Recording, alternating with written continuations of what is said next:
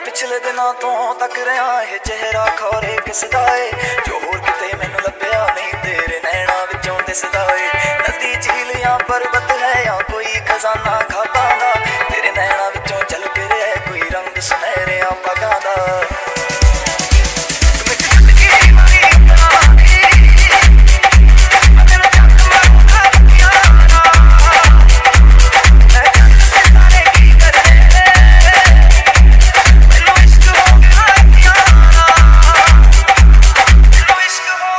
on your bike.